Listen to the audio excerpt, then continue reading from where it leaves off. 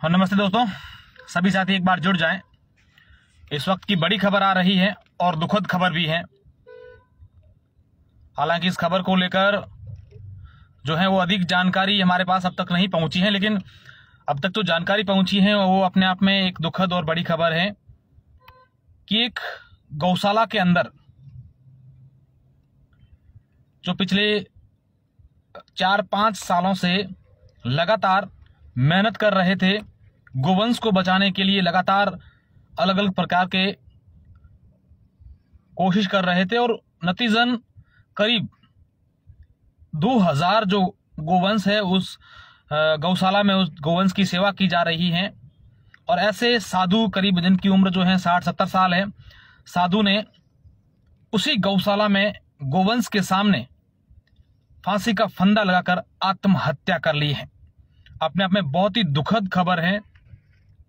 और बड़ी खबर है, क्या पूरी अपडेट है मैं आप लोगों को दूँगा, पूरी जानकारी दूँगा, लेकिन जब से ये बात सामने एक साधु के सुसाइड करने की और वो भी गौशाला के अंदर, जहाँ पर करीब दो हज़ार जो गायें हैं, जो गौशाला के अंदर थी और गौशाला परिसर के अंदर ही सुबह जब लोग उठे तो उनका जो शव है वो लटका मिला।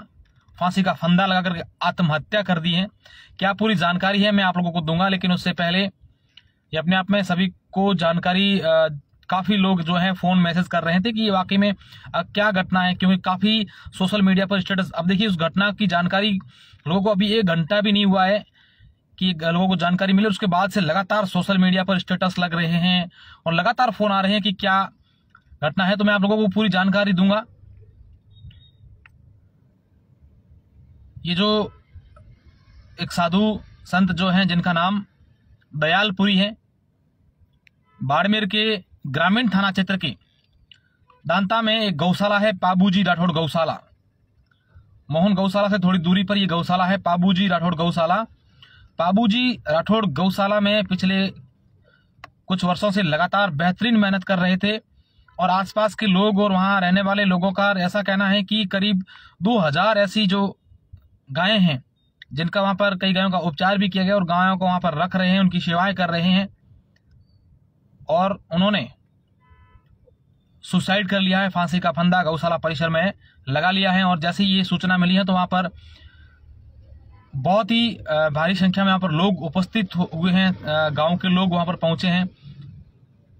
अपने आप में ये दुखद खबर है और बड़ी खबर भी है कि आखिर क्या वजह रही होगी कि इतना अच्छा काम करने वाले एक साधु ने गौशाला के अंदर ही फांसी का फंदा लगा करके आत्महत्या कर दी है। पब्लिक व्यू अगर जाने तो पब्लिक व्यू लोगों का ऐसा कहना है कि जो ये संत हैं, ये साधु हैं, महाराज हैं दयालपुरी जी, ये इतनी बढ़िया मेहनत कर रहे थे और कोरोना के समय में एकदम बहुत ही ज़्यादा स्ट्रगल इन्होंने किया, क्योंकि इनके सामने चुनौती थी उन तमाम गायों को बचाने की, लेकिन इन्होंने हार नहीं मानी और विभिन्न प्रकार के प्रयास करके और गायों को बचाया। लंपी बीमारी में भी गायों की खूब सेवा की और नतीजा ये है कि करीब 2000 गायें जो हैं उस गौशाला में हैं। हालाँकि पुलिस अभी मौके पर पहुँची है और पूरे मामले को लेकर जाँच पड़ताल कर रही है कि आखिर क्या वजह रही होगी कि एक साधु ने इतना बड़ा कदम उठा दिया और साधु की जो कार्यशैली है, वो सब लोग कहते हैं कि बहुत ही शानदार तरीके से वो गायों की सेवा करते थे। अपने आप में एक दुखद खबर और बड़ी खबर भी है कि एक जो साधु हैं, जिन्होंने सुसाइड कर लिया है बहुत ही दुखद खबर इस वक्त की हम आप लोगों को दिखा रहे हैं। बाड़मेर के दांता जो गाँव है, ग्रामीण थाना क्षेत्र के, वहाँ पर एक पाबूजी राठौड़ गौशाला है और उस गौशाला के अंदर एक साधु जिनकी उम्र करीब साठ सत्तर साल है, उन्होंने सुसाइड कर लिया है। तो तमाम पूरी जो जानकारी है वो हम आप लोगों को देंगे।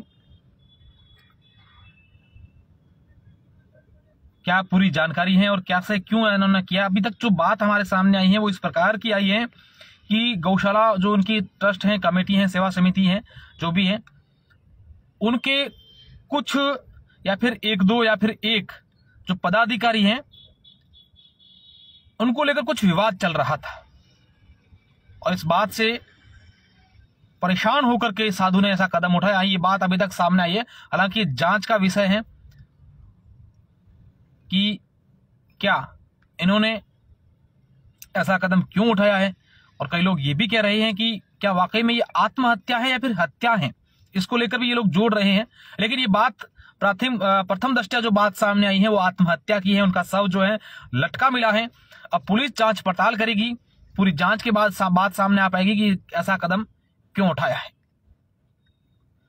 मेरी तमाम दर्शक जो करीब 1600 1700 मित्र मुझे लाइव देख रहे हैं, मेरी उनसे अपील है कि किसी प्रकार की अगर कुछ दिक्कत आती है, कुछ परेशानी आती है तो मिल बैठकर उसका निपटारा किया जा सकता है, ऐसे कदम नहीं उठाने चाहिए।